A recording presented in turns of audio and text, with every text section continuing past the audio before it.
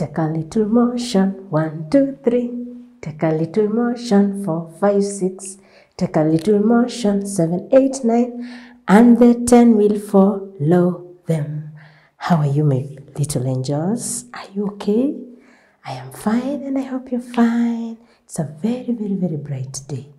Welcome to Easy Elimu Learning Simplified. Wow, numbers. It's very interesting that we did these numbers in grade 1 and someone is asking, teacher, why are you still doing these numbers again in grade 2? I want you to get these numbers clearly and very nice so that when someone tells you, write these numbers in words and in figures, you can do it so well and perfectly. Okay? Last lesson, who can remind me what we talked about in last lessons? Teacher, we were reading and writing numbers 1 to 5 in words. Very good. And today, we just want to do the numbers 1 to 10, which means you've already done numbers 1 to 5. So I only need which numbers there?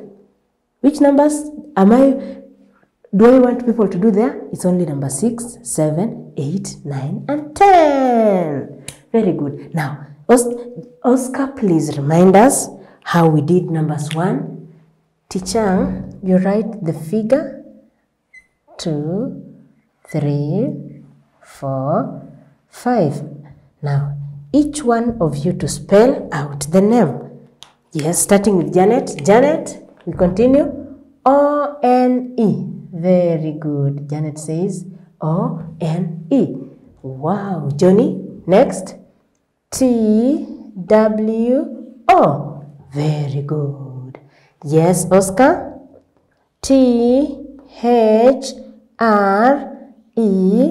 E.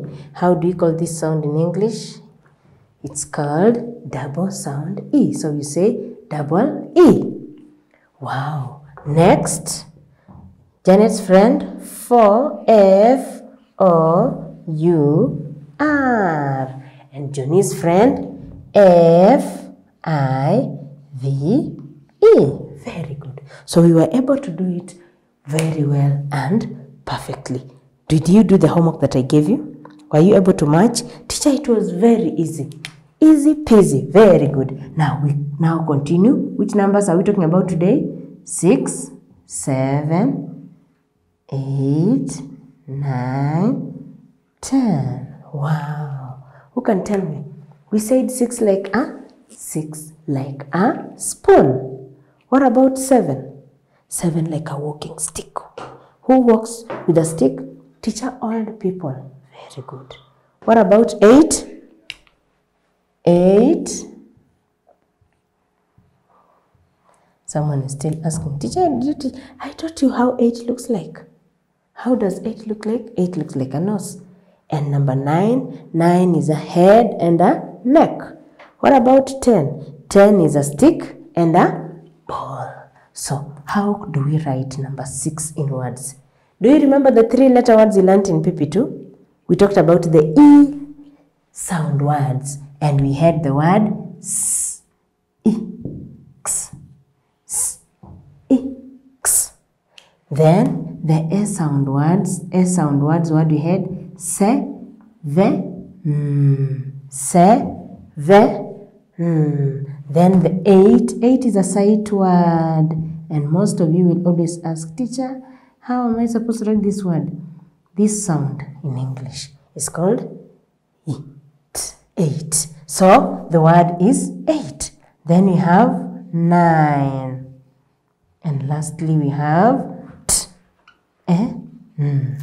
Very good. So if someone gives you homework today and tells you, write these words well, you jumble out the letters, jumble up the letters, then you, you are told, write well. Let's see if you'll be able to write the words well. We have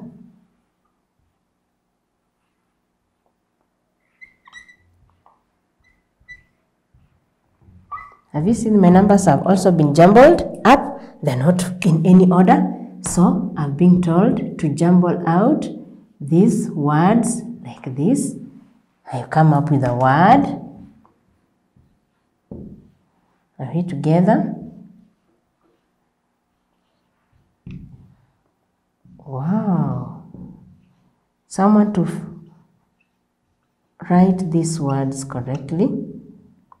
Someone to write these words correctly. When you just look at the figure, the figure here is 8. You will be able to write the word 8 nicely because the figure already tells you which word are you supposed to write there. And we also did it in our class using our flashcards. Then the second one, the second one, yes, Oscar, the second one is a 6, which is very easy. So the remaining three, you're going to do it as homework at home with the help of your guidance. Then when you come home, when you reach home, I want people to try and use the plasticine to model these figures.